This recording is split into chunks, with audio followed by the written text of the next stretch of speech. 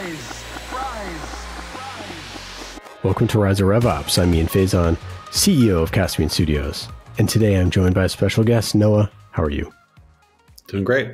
Great to be here. Yeah, great to have you on the show. Excited to chat about Udemy and all the cool stuff that Udemy does for businesses and all the different rev obstacles that y'all go through. So let's get into it. First off, tell me about how did you get into this crazy world of RevOps? Yeah, it's not a straight path. Probably date myself here, but it's like an old family circus cartoon, which just dots all over the place and just all mis- mismatched. I, so I grew up in Seattle. I started my career in sales, like in enterprise software, sold on-prem software, which came on a, a CD, much like our internet did back then as well. And it was a lot of fun. It was lucrative. It was a great intro into the technology space and enterprise stuff. It was a lot of fun. It was fast moving. It was merit based.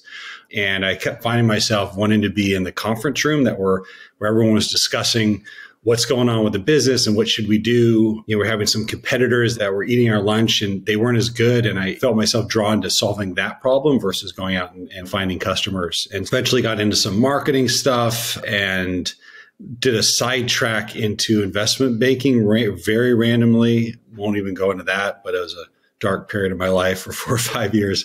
And then came back out and, and ended up connecting with somebody at Salesforce who was in sales strategy and had a background somewhat similar to mine in banking and so on. And I was looking to, to leave and look into something different. And with that background in technology, joined in. And what I kind of found was is that that overlap between sales experience, marketing experience, and, and finance skills was really applicable to the world of kind of sales ops, sales strategy. And it was really interesting. We were trying to solve the bigger questions, which I always was fascinated by. And it was something that was just emerging. This was maybe, I don't know, 10, maybe 10 years ago. And it was something that was just kind of coming on the scene, this idea of what is revenue operations. I don't think was a term then. And then subsequently, I've just gone from the enterprise B2B SaaS pre IPO startup and look to scale those organizations and just iterated on the role along the way. And then it's kind of developed into this thing now, which is which is really kind of funny and unique, but nothing I, I don't think existed 10 years ago, but I think it's has a really big impact on organizations. And I'm starting to see it as either the go-to-market strategy and ops or the RevOps title appear all over the place, even in, the structures of removing themselves just from within the business line, but reporting to the CEO or, or president. And so it's exciting. It's focusing on the biggest projects that the company's facing and how to make sure it happens. So it's a little bit creativity, a little bit business experience, and a little bit of math. Let's talk Udemy. I'll tell you, we're huge fans of Udemy here at Caspian. I had one of our one of our leaders sent me a link the other day to a Udemy course and was, Hey, I would love to take this. And I was like, yeah, this is great. swipe the credit card and go take it. We're a huge fan of learning here at Caspian, so trying to figure that stuff out from the best people in the world to do it. Udemy for Business obviously is really exciting for companies that are trying to figure out how to do that stuff. Can you tell me about Udemy for Business and what size and scale that you see there in addition to Udemy, the entire company?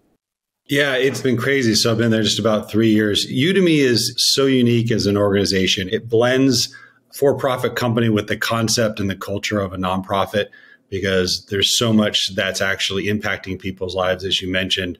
I have people on my team that got to where they are by doing online training and cohort training to pursue parts of their career and their passions where they didn't have a background. And so the interesting part, so Udemy started as really just a marketplace by Eren Bali and place for people to come to connect to instructors and instructors to be anywhere in the world that have expertise. And it just blew incredibly fast. It was huge. And then the idea was came about maybe six, seven years ago. Started there was an interest to package this up and provide the best of the best courses to to companies. And then very quickly, the company has grown nearly, it's almost closing out on $400 million of revenue.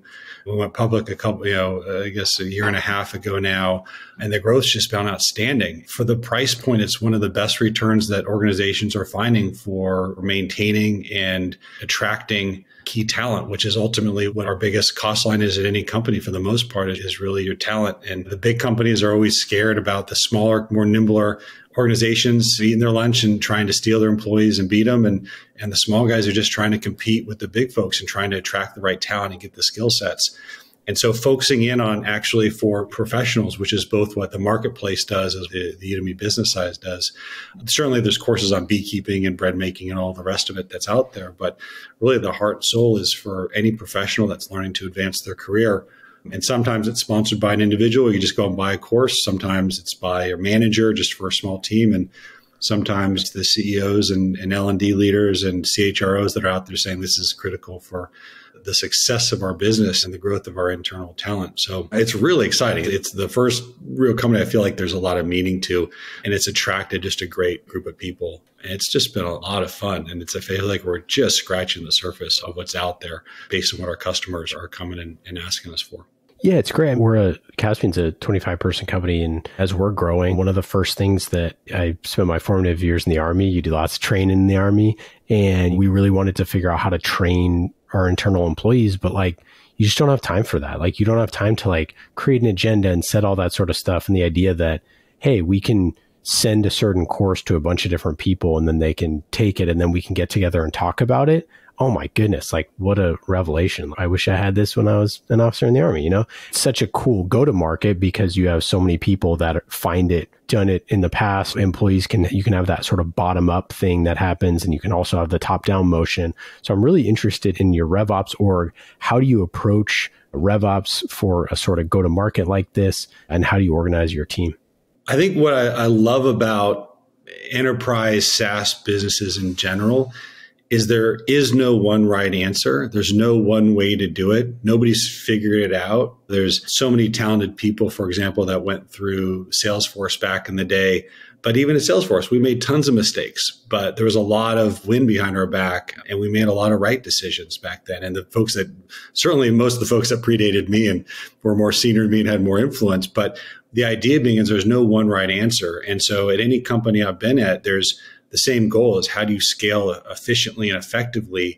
And there's only so many levers you have, but ultimately it's which order do you pull those levers and when and what's the right time. And that to me is this algebraic problem solving that's really fun and allows every day to think about, okay, what should we be doing differently? How can we think about this? And for all the other folks that are in this world, there's a lot of great kind of support groups or, and so on, but we're all thinking and sharing ideas and trying to come up with, that next best thing. But again, similar, I think we're scratching the surface. The way that my organization is set up is really there's a couple different areas. There's a functional operations role, which is aligned to a business lead.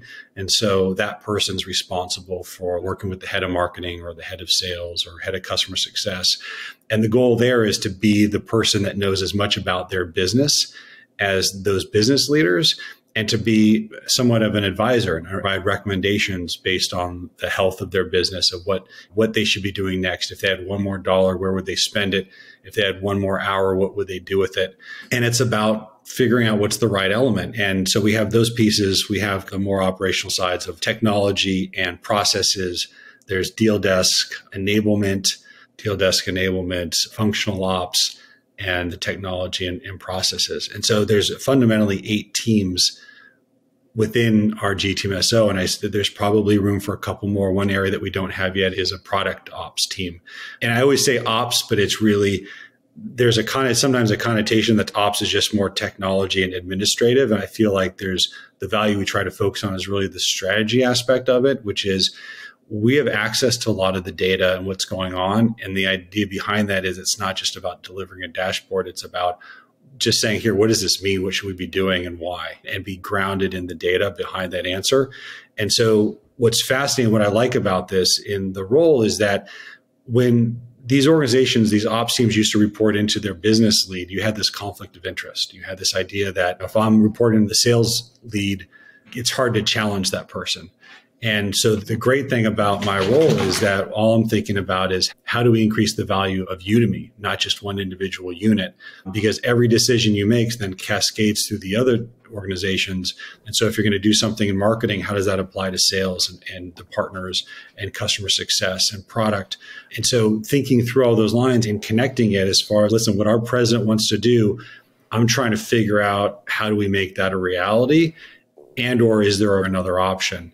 And so it's exhausting on a daily basis because there's so many things out there. And it's an exercise in prioritization of what are the most important things we should be focusing on, an exercise in alignment. I have this picture I use on a lot of slide decks when I talk about my team, which is just a bunch of geese flying in alignment and then a bunch of geese running into each other. And it's that's fundamentally it. Because there's no one right answer, the idea is are we directionally all going the same direction?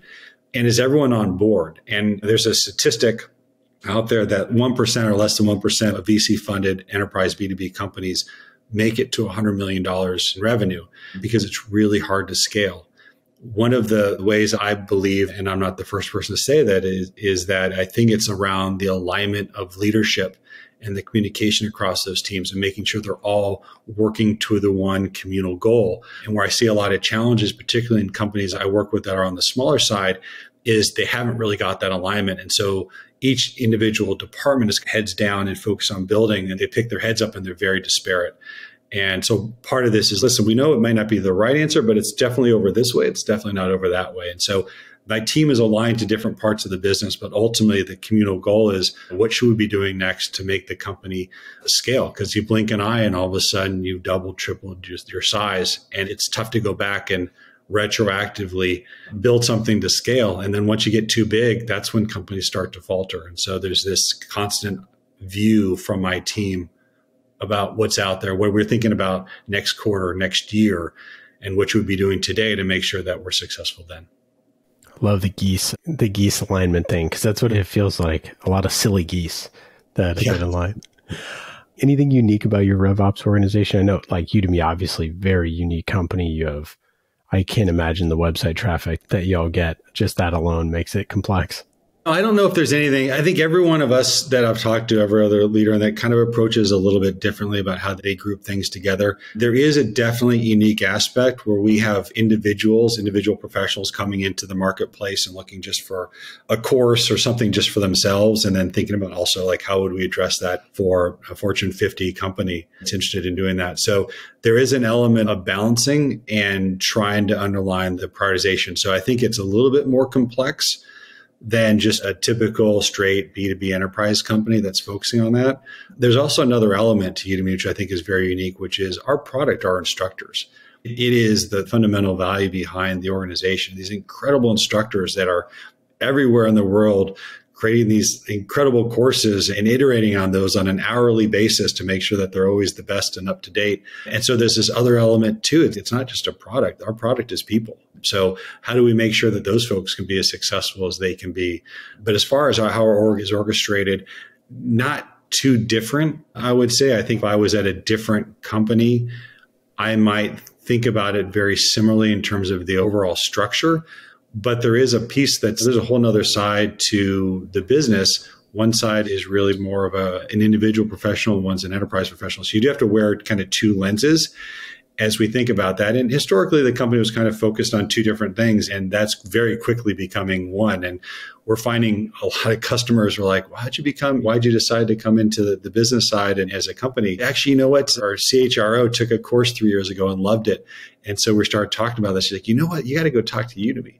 And more often than not, then that's the thing. So there's this whole element of this marketplace is this awareness engine and allowing people to do things on their own. But then when it comes back to their broader careers, there's a lot of transference back and forth. And so trying to support that both from thinking as a consumer model and as more of a B2B model is unique. There's a few companies out there that do that, but I think ours are really tightly aligned. And so I think there's this transference of once you're at one, you're in a career in a company, but your career continues outside of that company. So we have professionals coming and going as you know with one company and then moving on their own and then and then arriving at another company. And so how do we make them successful and what's that future for them of like here's their skills that they have. How do we recognize that? Or how would a future employer want to think about oh am i looking for somebody's resume or am i really looking for somebody's skill set? And so there's so many interesting ideas out there and ultimately there's a finite number of resources. And so a lot of this is just the prioritization and it's a different topic than it might other be at another company but i think fundamentally a lot of our orgs uh, tend to be very similar. I would say that there's a couple things out there which is some in terms of where our org aligns to which is under the strategy which under the president of the company versus sometimes i've seen it under a cfo or sometimes it's under a cro and what I worry about in those instances is you're not still focusing on the broader picture. The president just cares about the success of the overall company, not just a department. Finance is a great gatekeeper for us. It's good to have them not as part of my boss or my team because I can always use them, whether they like it or not, as, mm-hmm. as my guardrail to say, no, this is a finances policy. And oftentimes, finance isn't thinking about the strategy of the business either. So, alignment to whomever's ultimately making those strategic decisions. So, I have seen roles pop up and other folks where they're reporting in different lines.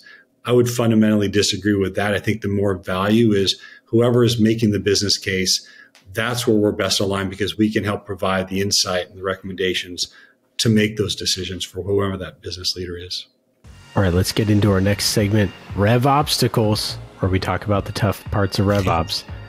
What's the hardest RevOps problem you've had in the past year or so? Man, it just it changes. I think the biggest one, and I think this applies to fast-paced companies, which is also why I love it. I can't complain because I think these are it's the problems you encounter because you're growing really fast. So you really can't complain because they're good problems. So it's constant prioritization and reprioritization as we grow. A year goes by in a blink of an eye. We think about when COVID hit. Okay, great. So, how are we going to think about when that time period is and when that's going to end and how that's going to impact the business? And it was actually, it was interesting. A lot of folks were taking time to rethink about their careers and retraining. And so, we actually saw a huge spike in interest and demand. And then we had maybe about 30 minutes of calm and then all of a sudden economic considerations and wars and everything started happening and supply blockages you everything's a little bit different. The challenge being is when you're building for scale and building over the next year or two there's all so many of these unknowns which for ultimately a period of maybe like eight or nine years prior we didn't have a lot of major disruption in at least in the technology space and now we're having it one after the other. And so i think the idea is are we still is that still the right direction? Is the geese still aligned and going? Is that still north?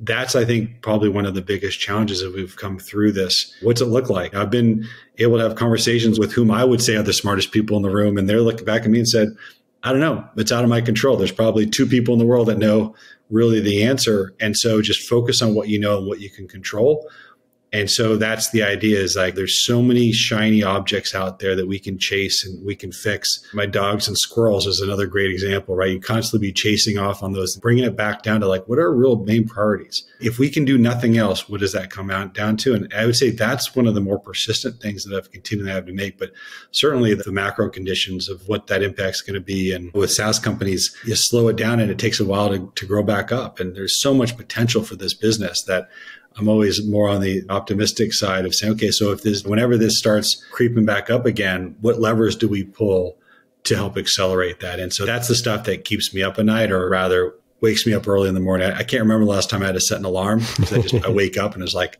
million ideas running through my head, which is exciting. And as long as that continues, like this is the right sort of role for me. All right, let's get to our next segment, the tool shed, where we're talking tools, spreadsheets, and metrics just like everyone's favorite tool, Qualified.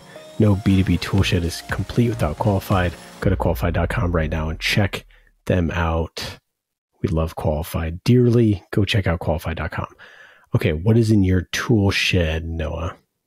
We got everything. Let me tell you this if you were a vendor and you didn't sell to Udemy in the past six years, you missed out on a paycheck.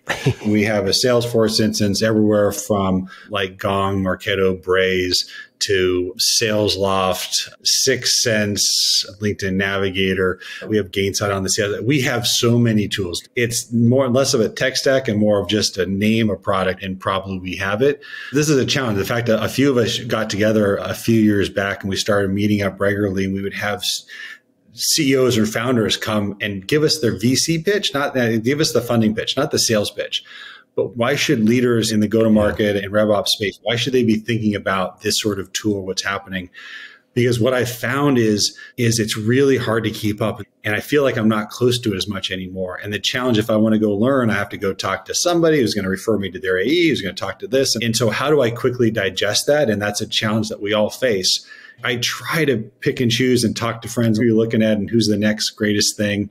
I think there's we're scratching the surface of those things, and I really want. to I don't think we're using any of our tools optimally. I think I hold all of our tools to a greater standard than maybe they do themselves. I have I have expectations. I think if I leave this job, I may have to just go build something because I think everyone's kind of like gnawing around the, the edge of it, but like kind of getting at the core of ultimately what we want to know as an organization is what's our number going to be next year? What's it going to be our next quarter? What's it going to be the quarter after that? And then you start clicking into it and like what are the things that contribute to that that we can actually affect today to help us get there? Whether it's on the customer side with customer retention or customer health or is it on the pipeline side? Is it on the handoff side between the inside sales and aes all these areas to look and i feel like everyone's sending me a bunch of data but i want to know who like tell me who my best like gong tell me who my best reps are. Yeah. I get all the data. Like tell me what a best good great call looks like. I get all the data but then i have to go do it myself and so there's a lot of circling in the market, and I feel like there's going to be a lot, of, a lot of M&A this year in this space because there's limited real estate and there's too many folks trying to vie for that front system. We use a company called BoostUp for forecasting. Mm-hmm. Prior to that, I used a company Clari for a couple of guys.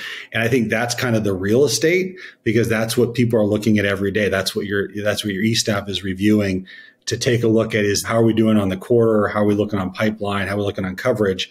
And then everything kind of backs into that. And okay, if this is down, then tell me why. Then how do I break into that? Or if we need this, then why? And so I find that very interesting. Or the companies that are using Slack and just there's no interface. It's just, it's almost ask Alexa and you get a response about your account status or something like that. And It's like, I love that idea because just interacting with a chatbot versus having to go to a tool is would be a nirvana in my stage. So there's a lot of stuff, a lot of data, not as much prescription or somebody telling me what's what really good is or where I should review. But that's why I have an analytics team on my staff to to go and dig in and try to find those trends. But it's exciting. If you're in that space that's selling to the go to market tech stack, it's going to be a wild ride. I think there's going to be a lot of cool things. People are starting to really get it. And so I'm excited about what there is. I just hope that I'm aware of what that is so that I can have those conversations with folks. And it, it's tough. I, I, get a lot of emails, as we all do in our inbox. And, and sometimes I do send an email back saying, I wish you all the best. You're young in your career. I don't know what this means. I don't know what you're saying. I don't know what this terminology is. Don't use a script. Just speak in English and what core value are you try, uh, do you think I care about that you're trying to touch on? If people did, I would probably buy more stuff. Honestly, it's a travesty, but everyone's got to cut their teeth, I guess. Any metric that really matters to you that maybe it matters to other people, maybe it doesn't matter as much, but something that you or a couple things that you single out? There's a metric that we kind of came up with using one of the vendors a few companies ago. And there was this element when I was starting sales strategy, which was I realized that I was spending more than half my time talking with the marketing team and focusing on pipeline. So what I realized very quickly is that what's happening today, what's actually transacting right now, you have very little control. You have a little bit of control over, but mostly in the negotiation aspect. But you really have control over things in the future. And so one of my favorite metrics is pipeline coverage. Coverage and conversion have a lot of interesting terminologies depending who you talk to. But in my world, it's how much pipeline do you have today that's scheduled to close at a certain time in the future and how are you tracking to that? Because that's the one of the best early predictive signals as to the health of your business. You can look at how your bookings what your revenue look like right now. You can look at as are people generating pipeline in general but then how are you looking out for future quarters and as in our role i think that's one of the things that we really have to focus on is trying to anticipate what that's going to look like and so being able to extend your prediction model out there is something that I think is very powerful. So pipeline coverage is it predicting churn and predicting where we're going to end a quarter at with from a bookings perspective. Obviously, my favorite number. If I'm going to go with a favorite metric, because you have a great team that's doing that and they're getting pretty precise in, in figuring this out. And I would say the second, probably that's, number two. The number three would be it's this football field that I stole from back in the finance days when we're looking at M and A and you're doing valuation which is effectively just a bunch of different methodologies to identify a metric. And you kind of line them all up in American football field and, and you kind of see where there's overlap. So if I'm trying to do a prediction on where we think we're going to end the quarter, I have about seven different methodologies that help me determine where I think we're going to end up. And using all of those to kind of triangulate what's that kind of band of where that confidence level is. That one is the one that it's one of the first things I put together at a company when I go there because it, it gives me the all the different inputs, whether the sales team may think it's higher, whether the an- analytics says it's going to be lower. You can put all those together and see where the overlap is. And so I love doing that. I call it a football field. There's probably a better term for it, but it's a great way to understand how the business is shaping up. All right, let's get to our final segment here quick hits, quick questions, and quick answers. Quick hits. Noah, are you ready? I'm, I'm ready. Number one, if you could make any animal any size, what animal would it be and what size? So, being in the Bay Area, I'm fascinated with sharks, and my wife's from Florida, and I've become fascinated with, with alligators. I would love to take one of those and have just like a miniature, hmm. have an aquarium with a bunch of tiny little sharks swimming around that would be awesome. That would like sure there'd be some random stuff, but like as far as like just personal entertainment to have something that's great white but it's six inches long. So that would I be a lot of fun. Do you have a uh, RevOps prediction for the future? So it's interesting. The RevOps name, I feel we it was stolen because RevOps already existed. Revenue Ops was this organization that sits in finance. That RevOps team is the team that's usually doing like kind of like the RevRec stuff. So I've, I shifted to the go-to-market strategy and ops, which I think is a better representation. I know why RevOps got there is because the revenue leader and the sales leader naming convention. I would say maybe it shifts more towards that. I would say the trend within the teams is that probably more of them align to the business strategy leader. And I think it continues to grow as an organization. I mean, I'm biased, right? Obviously, I'm talking about my job, but I think in terms of what we're able to see across the business and the advice we have, because of that, you know, I think is very impactful. And I think the folks that are coming into this business come from all walks of life, all variations and whatever. And I think that also adds to a bit of, a, of the creativity. I think just be, continues to grow. I think it becomes a mainstay. The tools that I'm seeing that sell to this are also, I've seen them growing too because they're getting traction in non tech companies that are starting to grow these roles. I think just continued growth. Last question here. What advice would you have for someone who is newly leading a RevOps or a go to market ops team? That's a great question. If you're newly leading, I would say fundamentally, I would start as a leader. I would go into every of the areas that is generating data for you. So if you have a pipeline model, an operating model, I would go back and reconstruct those yourself. Because at the end of the day, you are accountable for what they say. And back when, again, another reference back to the finance days, but anytime you took over a project, you always started from scratch because you don't know what was in there before and you don't know how that's going to impact. And so as a leader, you need to be sure and you need to be able to go into the details, into the weeds when you need to and challenge your team because you've been there, you've done that, and they're still learning. And for you to be a best guide for them and helping them along the ways to be able to challenge them. But if you haven't gone through that path and done it, you got to jump into the details. So in this spectrum, there's so many different parts that could be rolling into you. Chances are you didn't come from all of them. You probably came from one avenue. So really understand your weak points of where you have the least amount of experience so that you can get into the weeds. You can have the competent conversations because you're only as good as your team. If you're not helping leading the team, then they're going sideways. So that would be my best advice for everyone. Noah, Thanks again. Great chatting with you for our listeners. Go check out Udemy for Business. Go just get it for your team. Get some courses going. If you haven't already, you're going to thank yourself. Noah, any final thoughts? Anything to plug? Nothing to plug. Just great to be here. I'm, i love that there's all these organizations that are focused on this world and how to get people in there and how to be successful. And I would say the plug is to all the folks out there is, is make sure you're focusing on the strategy and not the operation side only. Make sure you're thinking about what this means and how to convey it other than that, I had a great time. Thanks very much for having me. Awesome. Thanks, Noah. Take care.